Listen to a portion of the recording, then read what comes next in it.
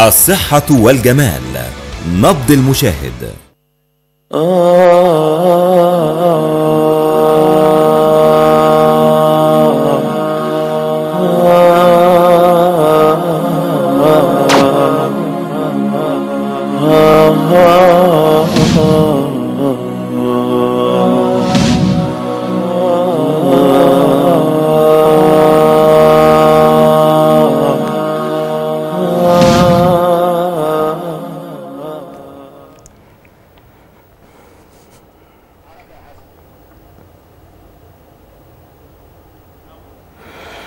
السلام عليكم ورحمة الله وبركاته أعزائي المشاهدين. أهلا ومرحبا بكم إلى حلقة حلقة جديدة من أنا والمسؤول. كل فعل جميل يثاب عليه شخص أو جماعة. أيضا كل ذنب يقترف على أرض مصرنا الحبيبة. لابد أن يسأل عنه شخص أو جماعة. هذه هي العدالة. هذه هي العدالة يرمي إليها جميع المصريين. النهارده عندنا مجموعة من الأخبار آه، يعني تعكس ما يحدث على آه، أرض مصرنا الحبيبة. لكن خلينا نستعرض معاكم بسرعة هذه الأخبار ونصل في النهاية إلى الموضوع الرئيسي لهذه الحلقة الأحداث الجارية على أرض مصر. خلينا نشوف النهارده وزارة الزراعة تطلب مساعدة القوات المسلحة لمواجهة أسراب الجراد هذا الشبح الذي يطل برأسه في كل عام في هذا التوقيت بالذات. يمكن السنوات اللي فاتت وزارة الزراعة قدرت بشكل أو بآخر تتعامل مع هذه الأسراب من الجراد لكن المرة دي النهارده آه، وزارة القوات المسلحة عفوا بتقول إن إحنا رصدنا مجموعات كبيرة من الجراد وصلت إلى السلك الشائك الحدودي. طبعا قطعا ده جاي لنا من الجهة الغربية من ناحية ليبيا ده زي ما بيحصل طبعا كل سنة. آه، تسللت أيضا بعض المجموعات ده بفعل الرياح العاتية اللي جاية من الناحية الغربية لمصر.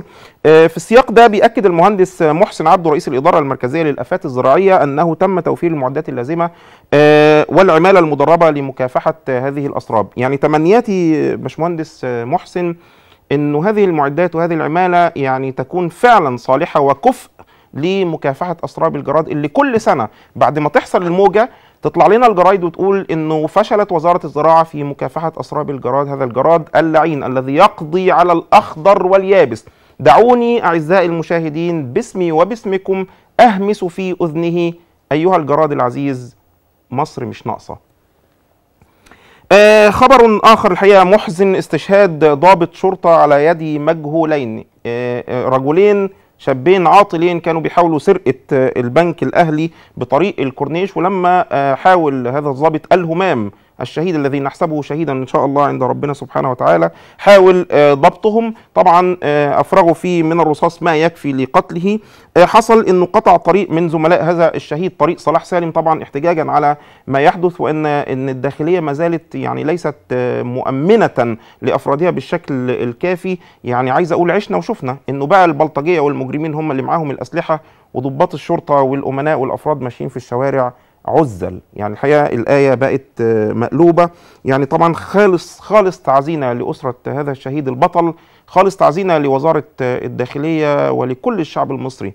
أي حد بيموت من على أرض مصر سواء كان ضابط أو عسكري أو فرد أو أي مواطن الحقيقة بيحز في نفوسنا آه، كلنا خالص تعزينا لمصر كلها. خبر أيضا يتعلق بالأمن السجن ثلاث سنوات لقناص العيون. وأخيرا طبعا قناص العيون ده يعني أشهر ضابط ملازم أول في الداخلية هو الملازم أول محمود الشناوي.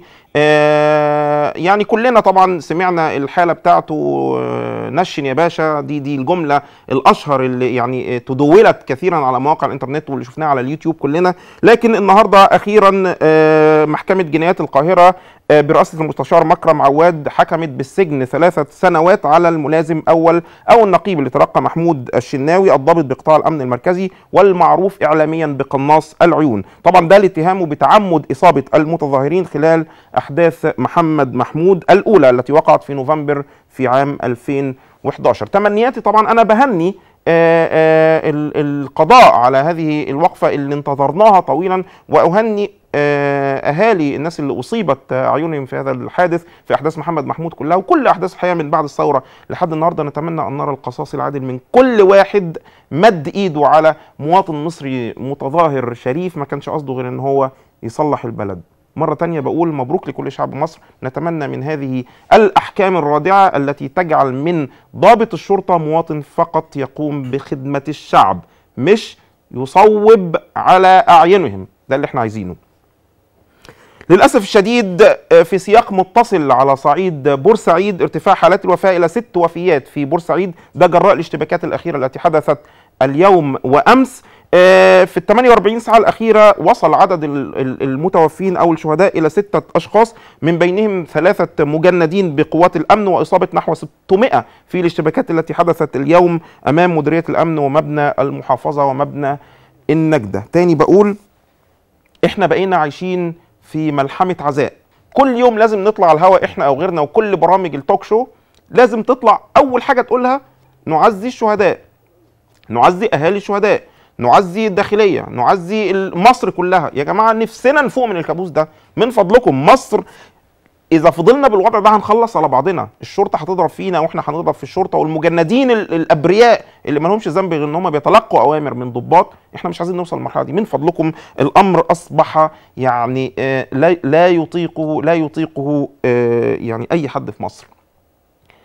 آه علشان نعلق على هذه الأحداث الحقيقة عندنا يعني آه المحلل السياسي الكبير الاستاذ بهاء جلهوم. أستاذ بهاء مساء الخير. أستاذ بهاء.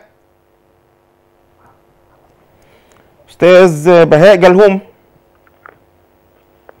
آه يبدو إنه في آه مشكلة في الاتصال مع أستاذ بهاء لكن يعني خلينا إحنا طبعا يعني هنعلق على الأحداث دي مع حضراتكم على طول مدار الحلقة إن شاء الله. يعني معنا العميد الخبير الأمني العميد محمود قطري. ده آه خبير أمني استراتيجي وله باع طويل في الداخلية. يمكن هيكون كلام مهم جدا جدا بالنسبة لنا من فضلكم تواصلوا معانا وابقوا معنا لأن هنسمع كلام كتير جدا مهم في تحليله للأحداث التي تجري على أرض المحروسة. فاصل قصير جدا انتظرونا وابقوا معنا.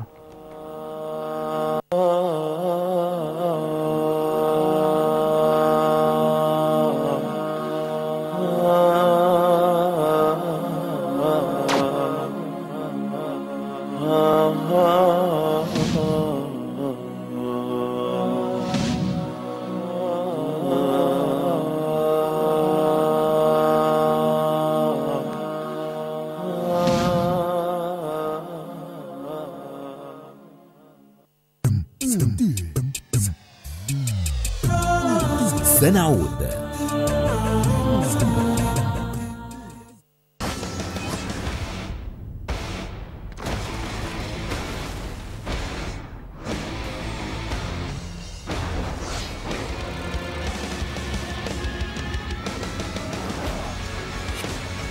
الصحة والجمال نبض المشاهد. في إطار التعاون المشترك بين قناة الصحة والجمال وجمعية الأورمان لتخفيف الأعباء عن الأسر المصرية تعلن عن تبنيها لتكاليف العمليات التالية عمليات العيون عمليات القلب عمليات القدم السكرية الأطراف الصناعية الكراسي المتحركة سماعات الأذن ضيافة مرضى السرطان وذلك بعد عمل الأبحاث اللازمة. مجانا مئة بالمئة وبدون أي رسوم نهائيا. للاستعلام اتصل على 19 4 55 للإعلان على قناة الصحة والجمال الوكيل الحصري. واو. للإنتاج الإعلامي والتسويق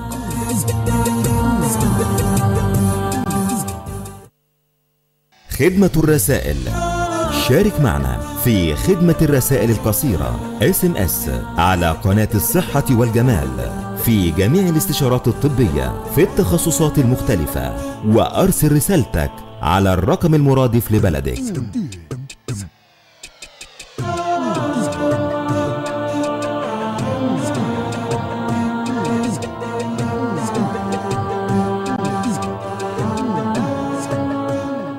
وننزل من القرآن ما هو شفاء ورحمة للمؤمنين. هل يسكنون جسم الإنسان؟ هل يستطيعون السيطرة وإحكام قبضتهم عليه؟ هل يتسبب الجن في إيذاء الإنسان؟ وما هي وسائل العلاج النفسية لهذه الظاهرة؟ وما هي طرق العلاج بالقرآن؟ وكيف نفرق بين الدجالين والمعالجين بالقرآن؟ حقائق وأوهام للشيخ أحمد أبو عمار الراقي حقائق وأوهام. يأتيكم الثلاثاء العاشرة ونصف. مساء.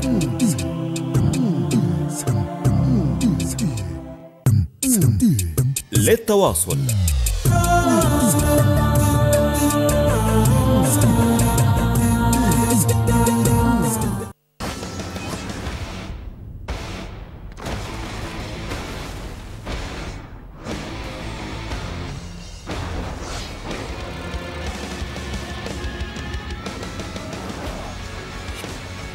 الصحة والجمال. نبض المشاهد. عدنا.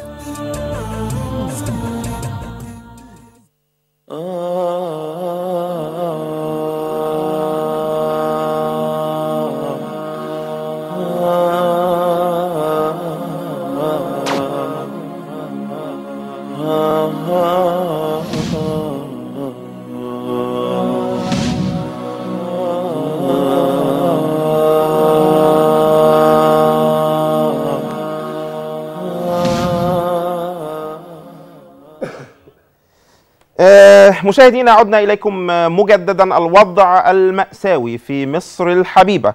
الوضع الأمني هذا يعني آه، الذي أوشك يكون على المحك.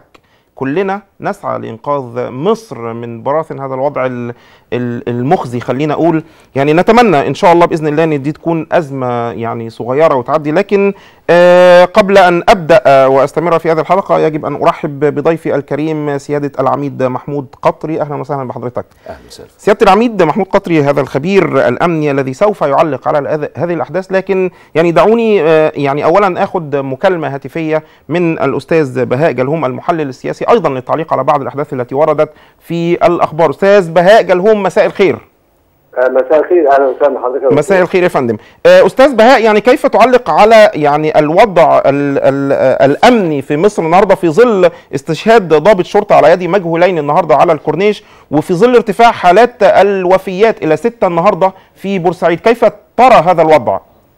يعني لعل هذه الأحداث ترتبط بشكل آه، عضوي ب آه، آه، الاستحقاق الانتخابي الذي يجري التحضير. آه، له ويجري فتح باب الترشح الأسبوع القادم. نعم يعني 9 آه، مارس. هذه الأحداث مجتمعه آه، تستهدف إرباك الدولة المصرية تعطيل هذا الاستحقاق والإبقاء على حالة من الفراغ الدستوري. إبقاء الشرعية فقط ممثلة في رئيس الجمهورية ومحاوله الانقضاض على هذه الشرعية بشكل أو بآخر عبر إحداث حالة من الفوضى في الشارع المصري لعل ذلك يعيدنا آه، دكتور إلى آه، إلى ما كان حاصلا آه، قبل ذلك في استحقاق عام 2011 حيث سبق هذا الاستحقاق أحداث محمد محمود. نعم. وكذلك استحقاق مجلس الشورى في 2012 الذي ترافق مع أحداث بورسعيد استاد بورسعيد والانتخابات الرئاسية التي ترافقت كذلك مع حاله انقسام سياسي ومجتمعي. بشان هل الدكتور محمد مرسي أو الفريق أحمد شفيق وأخيرا استحقاق الاستفتاء على الدستور المصري والتي والذي ارتبط بأحداث كذلك في الدقهليه وبورسعيد والقاهرة والإسكندرية. طيب أستاذ بهاء يعني اسمح لي اسمح لي في السؤال يعني حضرتك ترى أن هناك يعني ايد خفية تلعب من وراء الستار في إحداث هذه الحالات من الهرج والمرج على الصعيد المصري؟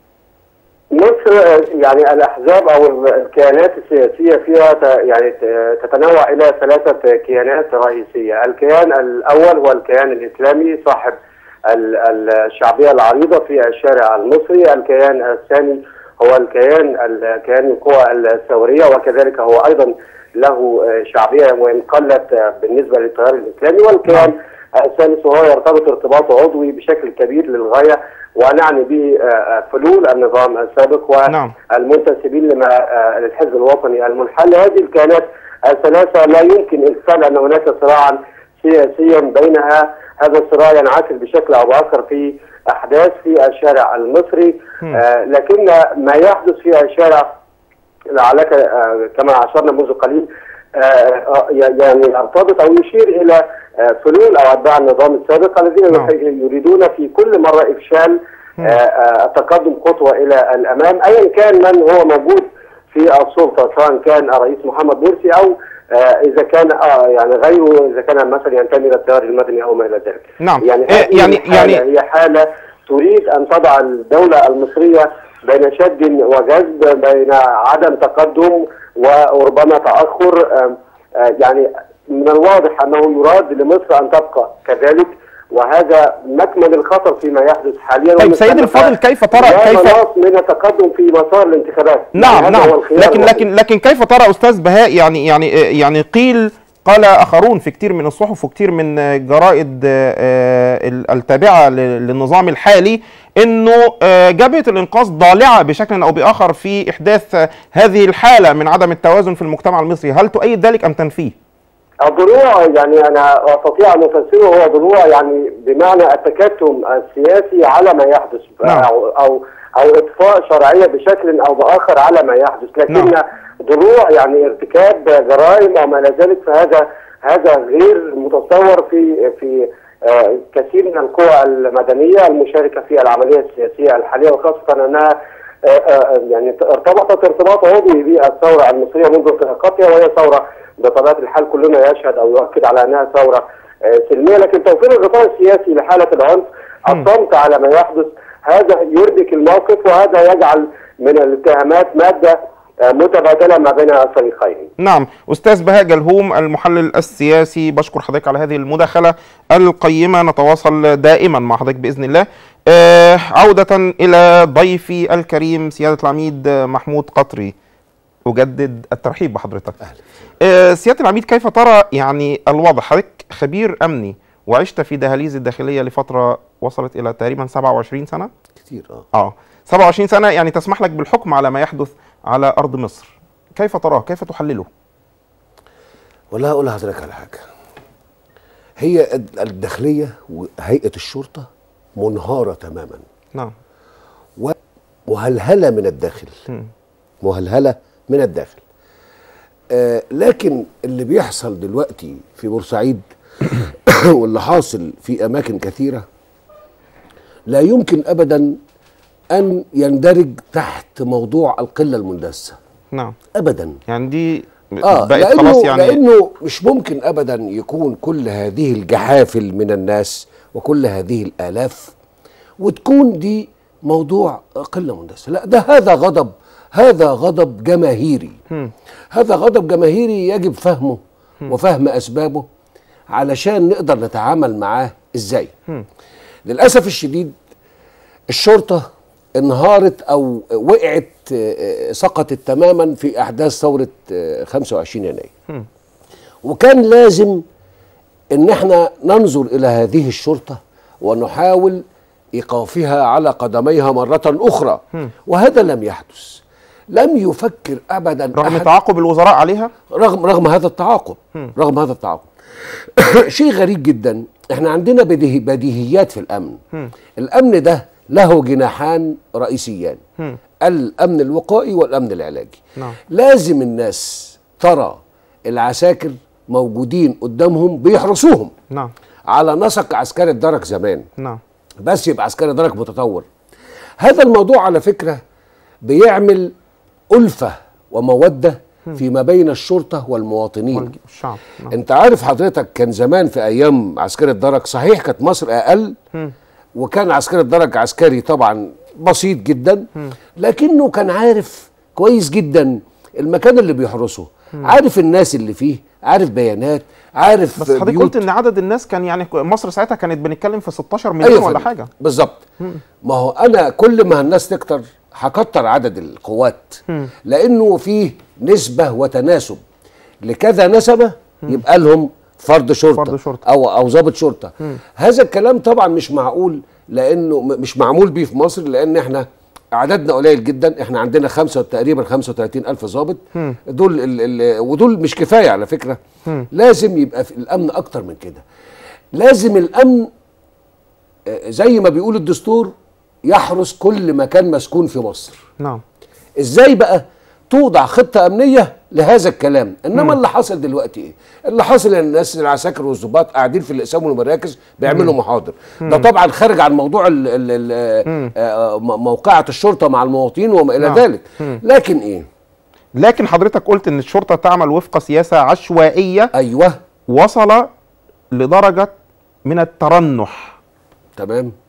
تمام. بما يعني يعني يعني حضرتك وضح لنا يعني. إيه الشرطة تعمل وفق سياسة عشوائية؟ بص حضرتك المفروض إن أنت لما تيجي تبني عمارة بتبني ال- ال- الدور الأولاني الأول الدور الأرضي الأول. الدور الأرضي متصدع في الشرطة. مته... واقع خالص. فأنت كل شوية تيجي تظبط في الدور الثاني يروح واقع من حتة. تقوم تظبطه تاني يروح من حتة. ما ينفعش. الأساس. ما ينفعش. أساس الشرطة هو الأمن الوقائي. لازم تتعمل منظومة أمن وقائي حقيقية على مستوى مصر. طب وده كان موجود أيام حبيب العدلي؟ لا. حبيب العدلي كان راجل آه، ضعيف في العلوم الأمنية. ف وكان راجل آه، له مع إنه بتاع امن دولة يعني. لا ما هو ما هو الأمن الدولة على فكرة ما يعتبرش ضابط شرطة يعني. أمن الدولة وان كانت أفضل كنا كان هم لهم إيه؟ كعب العالي. مهرجة علينا الكعب العالي بتاعنا. آه. كويس. لكن آه، ما ما ضابط أمن الدولة ده عمله أقرب إلى المخابرات مش عمل أمن داخلي. يزعل الناس منك. معلش ده حقيقة. لا ده حقيقة دي الحقيقة. فهو ما كانش بيعرف بيفهم حاجة أعتقد آه، وفقا ل ل ل ل معايير لنتائجه. الأمنية، آه. آه و- يعني اداؤه في الشارع ما كانش بيعرف حاجة في الأمن العام. نعم. للأسف. وهو الأمن العام ده مهم جدا. هو العدلي لأنه ما بيعرفش حاجة. ف وجات الظروف ساعدته معاه جاء الخصخصة البنوك خدت شوية والشركات خدت شوية والكنائس خدت شوية ما بقاش حاجة تحرس الشارع. كويس؟ وهو أصلا كان بيحمي النظام. فيعين يعني عساكره تبقى فين؟ قواته على الابنيه الحكومية عشان نعم. يحمي النظام. وهذا خطأ جسيم. لو أنا عايز أحمي يعني آه، منشأة حكومية أو وزارة أحمي الشارع بتاعها. نعم. أحمي الشارع بتاعها. الأمن له أساسيات. لا تطبق الآن. طيب، سيادة لو العميد، طبقت ل- هذه الأساسيات هيبقى عندنا أمن حقيقي. لو انتقلنا من حبيب العدلي خلينا باللي فات إحنا عايزين النهارده سيادة اللواء وزير الداخلية الحالي آه. يعني أنا مش إحنا مش بصدد تقييم ادائه الأمني لكن إحنا بصدد تقييم مدى انعكاس ادائه ده على الشارع. إيه اللي بيحصل في الشارع النهارده؟ حضرتك سمعت معانا الأخبار آدي عدد القتلى زاد إلى ستة وفي إصابة 600 في بورسعيد النهارده وفي ضابط شرطة أصيب آه، قتل على الكورنيش استشهد على الكورنيش. يعني هذه هذا ألا ترى أن هذا خللا في المنظومة الأمنية؟ طبعا خلل كبير جدا. للأسف الشديد آه، هو محمد محمد إبراهيم مع احترامي الشديد ليه خد الداخليه ووضعها في الفرن وضعها أمام النار. بالظبط. دون أي تفكير. دون أي تف... دون أي خطط أمنية. دون أي استراتيجية. دون أي فكر. ما فيش أي حاجة خالص. كل اللي عمله اللي هو محمد إبراهيم إن هو وقف ال- العساكر والضباط أمام الجماهير. آه، في ملحوظة مهمة جدا لازم الناس تعرفها. أنا الأمن بالنسبة لي ما ينفعش في الثورة. نعم. ما ينفعش في الثورات إن أنا أقيم الأمن. أنا الأمن عندي آه، آه، بعض القوات واقفة علشان. واحد هيرتكب جريمة قتل تمنعه أو إذا ارتكبها تجري وراه تطارده واحد هيخطف بنت واحد هيخطف سلسلة. اذا اذا هذا هو الأمن الحقيقي الجنائي أمن الشارع. الذي لابد أن يشعر به المواطن. إنما ما ينفعش تقول إن الشعب كله طالع وطالع بيطالب بحاجة وأنا اوقف الشرطة قدامه. ده ما بقاش أمن بقى. لا لا لا ده ده ليست ليست عمليه أمنية. ما ينفعش اوقف عساكري الحقيقة اللي هو محمد إبراهيم لم يخطط للأمن ولم يصنع أي منظومات أمنية. هل ترى أنه ينفذ سياسات الرئيس مرسي؟ والله هو قلت قلت أن قوات الشرطة والقوات المسلحة مجرد انعكاس لتعليمات الرئيس مرسي كل اللي بيقوله السيد الرئيس مرسي هم بينفذوه. يعني آه، هو الحقيقة- تؤكد على ذلك؟ آه طبعا. آه، آه، أنا ما بغيرش كلامي ابدا. يعني ده معناه إنه الرئيس مرسي يجب أن يسأل على من يقتلون الآن؟ آه طبعا. طيب هقول لسعادتك على حاجة. ما دي طب ما دي طب ما دي ما ده هيدخلنا في ورطة دستورية. يعني تاني هنرجع نسائل الرئيس عما يفعله وزير الداخلية. أصل- يبقى يبقى في الحالة بص دي بص حضرتك على أرض الواقع أنا علشان أضرب نار على مظاهرة مستحيل إن قائد هذه القوة اللي موجودة في المظاهرة هيتخذ هذا القرار. ومستحيل إن ياخده مدير الأمن بل مستحيل إن ياخده وزير داخلية. لابد للرجوع لرئيس لا بد من. الرجوع للرئيس. يبقى اذا العمل رئيس. الجمهورية على يعني آه آه آه يعني آه مغبة ما يحدث في الشارع المصري. طبعا. بس أنا أعتقد حاجة. أعتقد إن الرئيس مرسي يعني مش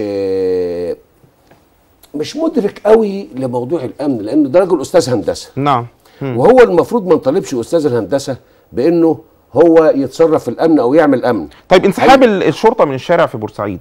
آه. يعني بما تفسره هل ده بيرجعنا لنفس نظرية انسحاب الشرطة في آه، الجمعة الاتحاديه يعني؟ في لا مش في الاتحاديه في أيام الثورة. في أيام الثورة، آه، آه. الجمعة جمعة لا. هو هو حقيقة حقيقة- حقيقة لازم يعني في بورسعيد الأحداث اللي موجودة حاليا أصبحت الشرطة خصم وعدو للناس. آه، وده بسبب برضو السياسات الوزارة السيئة الخاطئة.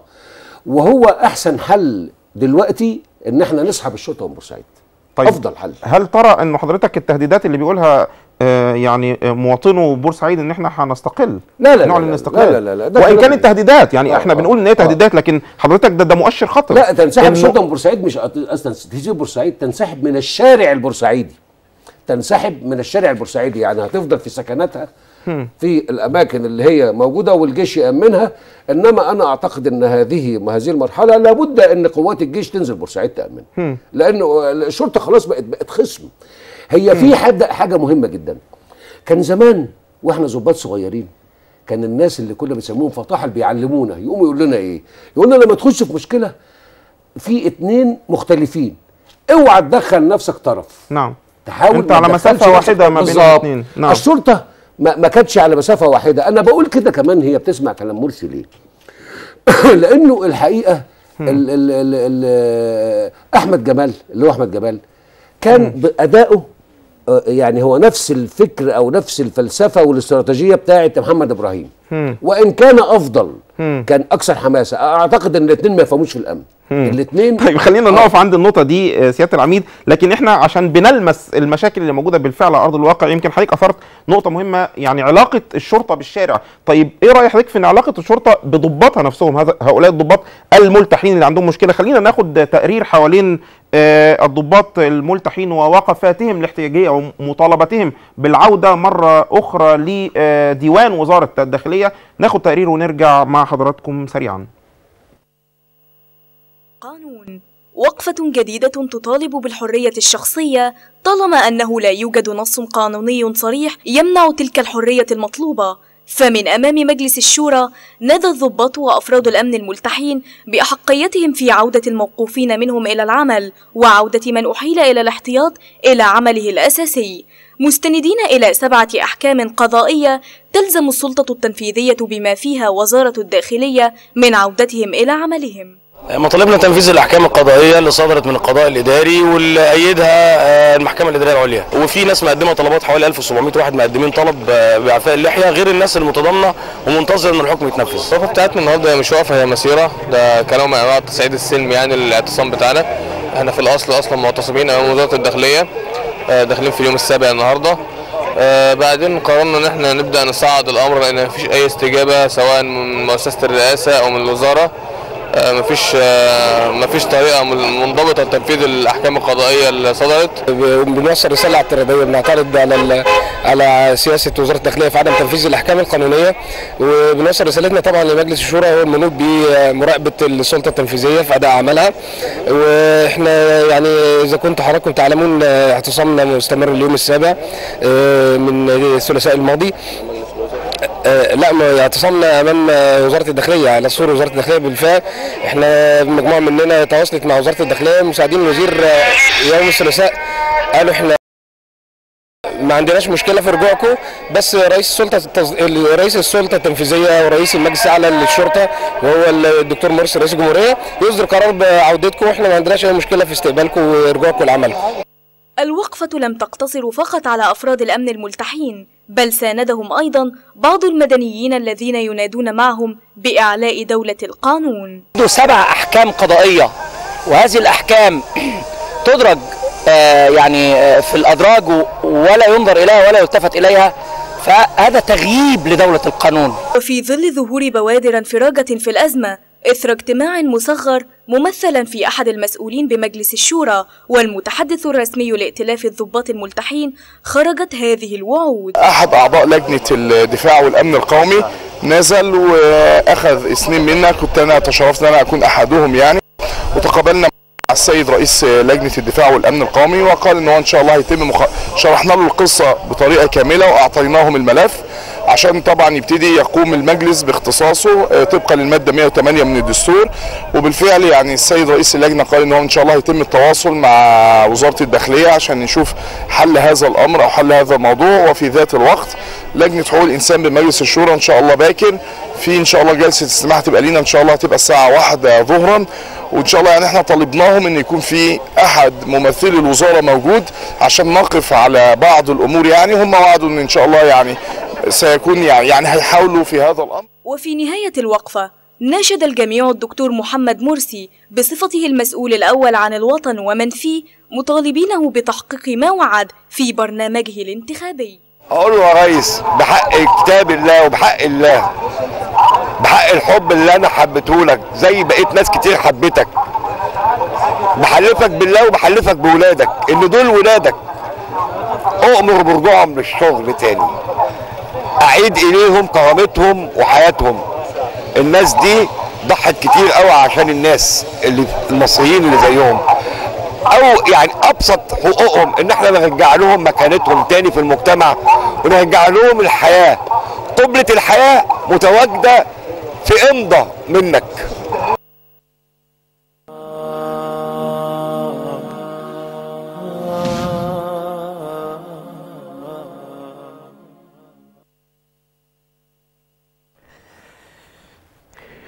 الضباط الملتحون. آه، مشكلة الحقيقة على أرض الواقع يعني تعيشها مصر في هذه الأونة. لم نكن نتخيل في لحظة من اللحظات أن يعني تقف الداخلية بجبروتها المعروف آه، في النظام السابق أمام هؤلاء. طب لما كانوا في النظام السابق ماشي كنا ممكن نقول إنما النهاردة الدنيا تغيرت وأصبح عندنا نظام آه، ينتمي للإخوان المسلمين. إذا المشكلة فين؟ الضباط دول مش عارفين يرجعوا لشغلهم ليه برغم وقفتهم الاحتجاجية لليوم السابع على التوالي قدام الداخلية وقدام مجلس الشورى عندنا علامات استفهام كتيرة جدا هيجاوب عنها سيادة العميد محمود قطري. اتفضل يا فندم. الحقيقة مشكلة الضباط الملتحين هي مشكلة بين الحرس القديم والحرس الجديد. نعم. الحرس القديم في هي الداخلية لسه فيها حرس قديم؟ آه طبعا كلها حرس قديم. كل قياداتها حرس قديم. وللأسف الشديد الداخلية متربية على آه، الطاعة وتنفيذ التعليمات فقط. مم. وكأن إذا يعني كأن إذا تبعت هذا الأمر تجد ربما تجد ده بل الذي يوصي التعليمات؟ ربما لا تعرفه. يعني دايما يقول لك ده تعليمات يا فندم ده تعليمات يا أستاذ. إحنا م- م- منعنين الكلام ده عشان كلها تعليمات. ومين بقى اللي بقى؟ مين اللي بيصدر التعليمات مين صاحب التعليمات؟ ما تفهمش. الحقيقة آه، ال- ال- ال- الداخلية بحرسها القديم آه، مش قادرة تتصور إن في ثورة قامت في مصر والثورة دي طلبت بالحرية وطلبت بالديمقراطية. وجاءت بالإخوان المسلمين. دي نقطة مهمة. لازم نسلم بإن الإخوان المسلمين والسلفيين وغيرهم من التيار الإسلامي. التيارات الإسلامية دول شريحة كبيرة جدا كبيرة العدد وشريحة مهمة في المجتمع يعني بصرف. النظر حضرتك عايز تقول عن الثورة عن كان الثورة. من حقهم يكونوا أو إن الإخوان يحكموا كان نعم. لازم الناس دي تدخل تدخل من الأول إيه معناه إن كان يدخل طالب لكلية الشرطة وعشان أبوه من الإخوان ولا هو من الإخوان ما يدخلش أو هو من السلفيين ما يدخلش لا لا لا لو كان. خال عمة كان آه حد. من من قرايبه يعني ده كلام فارغ ما ينفعش والحقيقة هو لابد الإخوان أنا أنا أجد رغم عدم رضائي عن أدائهم لكن أجد أنهم ظلموا ظلموا في تقلد الوظائف العامة ق- في أيام العهد. السابق نعم. وظلموا في الدخول إلى كليات الع- الحاجة بالكليات العسكرية وكليه صحيح. وعشان كده أنا عاوز أقول حاجة إحنا علشان إيه يعني واخدين على انه الضابط لازم يبقى حالق دقنه ولازم يبقى آه، شكله. إيه اللي هيحصل يعني لو رب ده؟ مش مش مش هيحصل حاجة. يو- الاقي في أمثلة بتنضرب. واحد مسيحي دخل لقى آه، واحد مرب طب إيه. وهو الضابط ده بيشتغل من بيتهم. مثلا. ده الضابط ده بيشتغل وفقا للقانون. ووفقا لتعليمات وله رئاسات لكن كيف تعلق. سيادة العميد على إن آه، آه، آه، رئيس هيئه المجلس الأعلى للشرطة هو السيد رئيس الجمهورية الدكتور محمد مرسي الذي لم يصدر قرارا حتى هذه اللحظة بعودة هؤلاء إلى استلام أعمالهم. بما تفسر. هو المفروض إن ال ال ال الوزير وفقا للقانون يحكم عليه بالحبس والعزل لعدم تنفيذه قرار المحكمة حكم المحكمة بإعادة عندهم سبع الضباط. أحكام قضائية يعني يتحبس سبع مرات. ويعزل سبع مرات. ده قانون إن الموظف العام الذي لا ينفذ يمتنع عن- يمتنع عن تنفيذ حكم نعم، القضاء أو قرار نعم. المحكمة بيحبس ويعزل. الحقيقة مش في الدكتور ازدواجيه مرسي- في المعوي في المعايير هنا؟ يعني منين إحنا بنقول احترام أحكام القضاء من ناحية ومن الناحيه الثانية ادينا بنضرب بيها عرض الحائط؟ بالظبط. ده كلام فارغ. هو يعني العملية بالنسبة للحرس القديم خطيرة. خطيرة جدا. ده هتهد الجهاز. جهاز ما الجهاز مهدود الجهاز بايظ. وبعدين إيه المشكلة؟ أنا أنا يعني قبل قبل ثورة آه كنت آه يعني آه ب- بأثق في الراجل اللي مربي دقنه يعني في الناحية الناحية الاجتماعية. لما أروح أتعامل مع واحد مثلا مربي دقنه كده ولا حاجة راجل أقول ده راجل بتاع ربنا. فيمكن ده يزيدني فيه ثقة أكتر. صحيح إن في استثناءات وما إلى ذلك لكن أعتقد إن المسيحي اللي هيدخل على ضابط ملتحي آه، ربما يثق فيه. هيثق فيه. أنا لما أدخل ولو- على قسيس ولو هثق في القسيس لأن عارف يا الراجل سيادة محترم. العميد لو قفلت خالص يبقى أروح لظابط تاني مش هقدر يعني يعني اسمح لي ناخد الحرية والديمقراطية يجب السماح لهؤلاء الضباط ده صحيح. بالعودة إلى الوزارة. ونغير بقى التعليمات مفيش قانون بيمنع آه، التعليمات يا فندم. دي تعليمات. خلينا نغير- ناخد ناخد مداخلة تليفونية هامة من سيادة اللواء عادل سليمان الخبير. الامني أيضا للتعليق على ما يحدث آه، خاصة في ملف الضباط الملتحين سيادة اللواء آه، مساء الخير. أهلا مساء الخير. مساء الخير يا فندم. اتفضل يا فندم. آه، كيف تعلق على وقفة الضباط المحت... الملتحين النهارده ولليوم السابع على التوالي أمام ديوان الوزارة ومجلس الشورى ولم تتم الاستجابة حتى الآن لمطلبهم الأول والأخير بالرجوع لاستلام أعمالهم في وزارة الداخلية؟ كيف تعلق على هذا؟ يعني أنا أعتقد أن هذا ال- الأمر هو أمر جديد آه، على المجتمع المصري لأن مثل هذه الهيئات النظامية لها قواعد معينة فيما يتعلق بال بال اللبس وبالمظهر وبالشكل العام الفكرة ليست فكرة إطلاق اللوحة أو عدم إطلاقها لأن هناك دول كثيرة لا تتقيد أو لا تفرض قيودا على إطلاق اللحية من عدمه نعم. سواء كانت لأسباب دينية أو لغيرها من الأسباب نجد هذا موجود في دول آسيا كثيرة, كثيرة حتى في بعض الدول الأوروبية ولكن نعم. الفكرة ترتبط بالهيئة النظامية وما يحكمها من ضوابط فيما يتعلق بالمظهر العام وبالزي وب... وب... إذا تم تعديل هذه التعليمات بشكل أو بآخر آه لا مانع من أن يكون هناك حرية في إطلاق اللحية من عدم إطلاقها. مم. آه ولكن هو أمر آه، جديد. يجب أن توضع له ضوابط جديدة تنظم هذه ال- العملية. نجد أن هناك هيئات كثيرة نظامية تشترط يونيفورم معين في الملابس تشترط مظهر معين في ال- الشكل وعلى من يلتحق بهذه الهيئات أن يلتزم بهذه. التعليمات. نعم. يعني حضرتك شايف إنه بما إنهم ينتموا لوزارة الداخلية التي حددت شكل آه، آه، ضابط الشرطة فعليهم أن يلتزموا بهذه القرارات التي يعني آه، أصدرت سالفا؟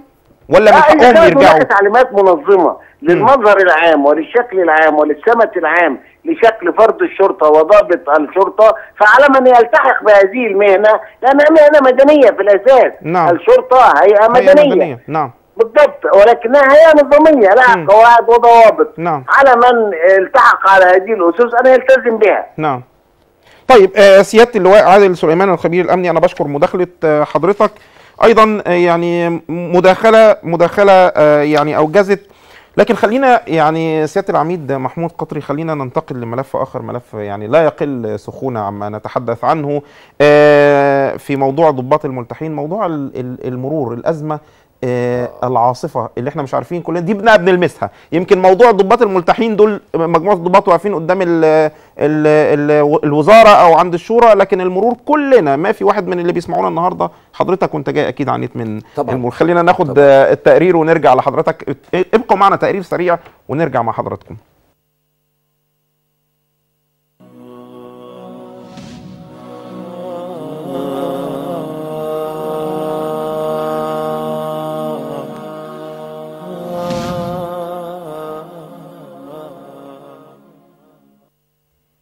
هكذا تبدو شوارع القاهرة كل يوم؟ صفوف لا تنتهي من السيارات بمختلف أنواعها. لا تتحرك. جميع الطرق لا تؤدي إلى المنشود. العاصمة تحت زلزال مروري على وشك الانفجار. ملف من أهم الملفات. حتى إنه تصدر البرنامج الانتخابي للرئيس مرسي والتي وعد أيضا بحلها خلال المئة يوم الأولى من فترة حكمه. ولم لا؟ فأزمة المرور قد تفجر العديد من الأزمات التي بالطبع لا تخفى على المسؤولين. ففي ظل أزمات التظاهر واختراق القانون من قائدي السيارات وإن شئنا بلطجة البعض والتي تعد من أهم العقبات التي تعوق عمل رجال المرور في الشارع المصري. زمور الدائري زحمة نزلة المحور زحمة كورنيش زحمة كل حاجة زحمة محدش عارف الزحمة فين بالظبط. العيب كله في الحكومة محدش واقف في إشارات. انت بت... انت شايف إيه إيه المشكلة؟ إيه السبب في ال- في الزحمة الموجوده إيه السبب؟ مفيش عساكر بتقف في المرور في الإشارات مفيش ظباط واقفة في المرور في الإشارات. ده السبب كله. في زحمة الشوارع كلها مقفلة. عربيات بتقف في الشوارع بتنزل ركاب تقفل الشوارع. هي دي الزحمة بتاع البلد كلها طب انت كسواق ميكروباص إيه المشاكل اللي بتواجهك وانت ماشي في الطريق؟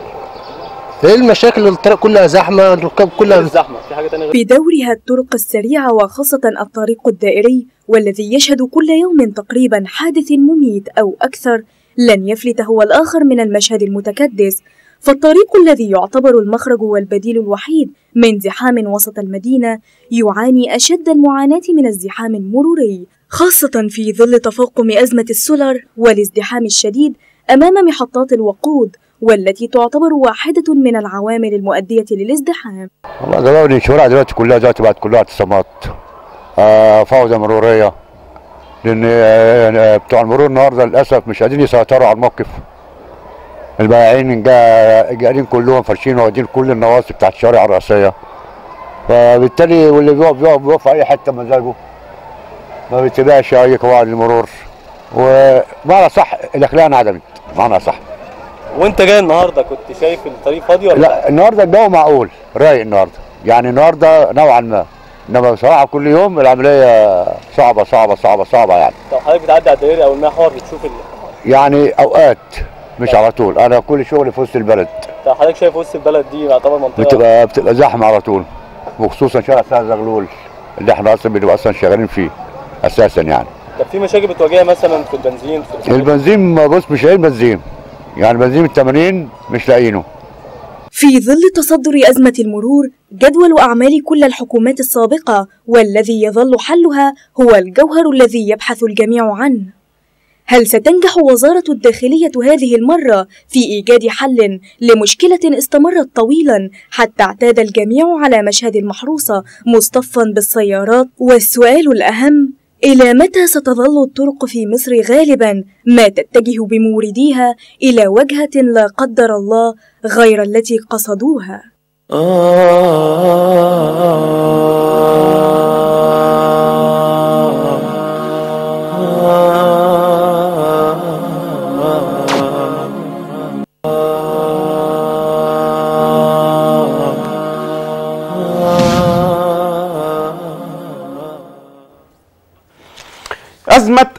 هذه الأزمة الطاحنة التي تعصف بالشارع المصري كل يوم. هذه الأزمة التي تصدرت ملف انتخاب السيد رئيس الجمهورية في خطة المئة يوم الأولى غير أنه كما قال السيد رئيس الجمهورية أفلح في بعضها وأخفق في البعض الآخر. يبدو أنه الموضوع مش هينفع له 100 يوم.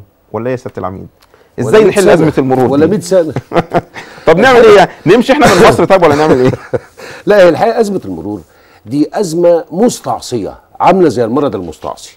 فعلا يعني ده طبعا هي زادت دلوقتي نعم لكن هي في الظروف الطبيعية أزمة مستعصية عاملة زي المرض المستعصي كده زي السرطان. والعياذ بالله نعم فهي الحقيقة ال- علشان هي أزمة مستعصية لابد من اتباع كافة آه، و- آه، سبل الإصلاح آه، يعني للدرجه القصوى. للدرجة القصوى. هل من حلول فعلية يا سياده العميد الحلول الفعلية بقى حلول خطيرة وحلول كبيرة جدا. هو أنت عش من الآخر عشان تحل أزمة ال- الأزمة المستعصية الكبيرة لازم تنقل العاصمة. نعم. إحنا عايشين في هو الجغرافيا عملا عفوا بمبدأ السرطان اللي حضرتك قلته الجراح لو عايز يخلص الموضوع بيستأصل. إحنا نعمل إيه في الأزمة المستعصية دي؟ هو المفروض حضرتك إن إحنا نخرج إلى الصحراء. مم. المفروض مصر المصريين عايشين على خمس مساحة مصر. نعم. والأربع تخماس فاضيين. لازم لما نطلع يعني 6 أكتوبر لما اتعملت ما 6 أكتوبر في صحراء. صحيح. ما مدينة جميلة وشوارعها واسعة ومعمولة كويس جدا. لابد من قرار سياسي عالي المستوى لنقل العاصمة ده بالنسبة للمشكلة الأساسية الكبيرة. لكن المشكلة القائمة دلوقتي كيفية التخفيف من آثارها الغير محتملة. نعم. المفروض إن إحنا نبحث في جهتين. إحنا عندنا هيئة الطرق والكباري دي مختصة بالشوارع والطرق وفي أخطاء هندسية كتيرة. لازم إن المسؤولين وأعضاء هذه الهيئة يقومون بملافتها يعني اللي يشوفوا الأخطاء الهندسية ويعملوها. مم. وثانيا المرور. المرور ما فيش. أنا جاي لحضرتك من السفر من مدينة دمنهور. ما فيش أي خدمة مرورية على الطريق. نعم. خالص. والخدمة المرورية أصلا موجودة في نطاق وزارة الداخلية اللي هي ساقطة اللي هي واقعة. واخد بال حضرتك؟ يعني هو إحنا محتاجين كمان الداخلية علشان علشان تحل مشكلة المرور لازم تصلح الداخلية. وعشان تصلح الداخلية الداخلية أنا قلت في الكلام ده وهحتاج أكرره تاني عشان الناس تعرف إحنا محتاجين. لإصلاح الداخلية على ثلاثة محاور. محور الفكر الامني الفاسد. الذي يتعامل مع الناس بعدائية ويعملهم كأعداء ويحتقرهم ويعملهم كحشرات لازم يتغير. العقيدة الأمنية الفاشلة المنحرفة لازم تتغير اللي هي بتخلي الضابط ينزل عشان يمسك مخالفات مش ينظم المرور يمسك مم. سلاح مش يأمن الناس. يعني هدفه يملى الدفتر اللي معاه عشان هدفه هو هو الأول أنا عندي الأمن ده المفروض إن أنا بأمن الناس. واللي يكسر هذا الأمن مخالف أمسكه هذا استثناء. مم. يبقى الاستثناء اللي هو القبض على المخالف. نعم. انقلب الأمر أصبح الاستثناء أصلا عاما مم. والأصل العام مش استثناء ملوش لازمة خالص. نعم. يعني لا ت... لا تهتم وزارة الداخلية بتأمين المواطنين أكثر من اهتمامها بأنها تجري عشان تجيب قضية. تضبط علشان يسقفوا لها في الاعلام يبدو وياخدوا مكافاه يبدو إنه الموضوع طبعا ذو شجون. أنا مع حضرتك إن الموضوع ده محتاج ملف بحاله. يعني أنا استسمح حضرتك تشرفنا مرة تانية إن شاء الله عشان نتحدث فقط عن الأزمة المرورية في آه. آه. شوارع القاهرة المحروسة. لكن للأسف الشديد وقتنا خلص مع وقتنا حضرتك. خلص بس أنا عاوز أقول على حاجة. اتفضل أنا. أناشد الرئيس مرسي. نعم.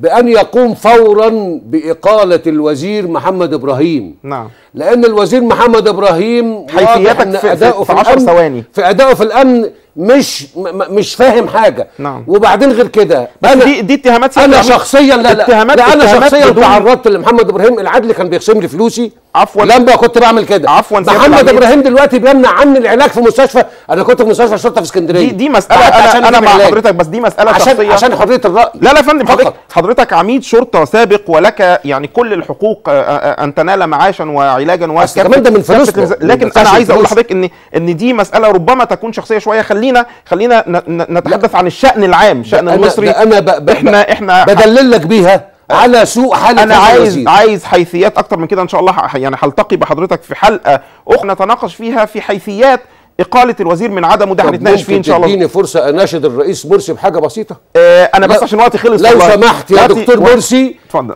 شكل لجنه على مستوى عالي من الخبراء الأمنيين وضباط الشرطة القدامى وفقهاء القانون وعلماء علم النفس وعلماء علم الاجتماع لتقوم هذه اللجنة الموسعة بوضع ميثاق للشرطة. نعم. ومن هذا الميثاق يستنبط قانون للشرطة وتعدل القوانين الداخلية التي تحكم الوزارة التي ساعدت على المحسوبية والرشوه دي إعادة. الهيكله دي إعادة ثم الهيكلة. عمل منظومة أمنية وقائيه ده مهم جدا. نعم. مهم جدا. نعم. أنا أنا اتفق. أتفق مع حضرتك وإن كان آه، هذا رأيك يعني وأنت مسؤول عنه أعتقد إن هو يعني آه، ليس فيه أي شيء يضر. ده بالعكس هو يرمي إلى الصالح العام. سيادة العميد محمود قطري أنا أشكر حضرتك على هذا الحضور. آه، الكريم المشرف لنا وإن شاء الله على وعد بلقاءات أخرى بإذن الله على منبر قناة الصحة والجمال. مشاهدينا نرجو أن نكون أضفنا ولو قطرة صغيرة ألقينا بحجر في هذا الماء الراكد في بركة مصرنا المحروسة. نلتقي بكم الأسبوع القادم. انتظرونا والسلام عليكم ورحمة الله وبركاته.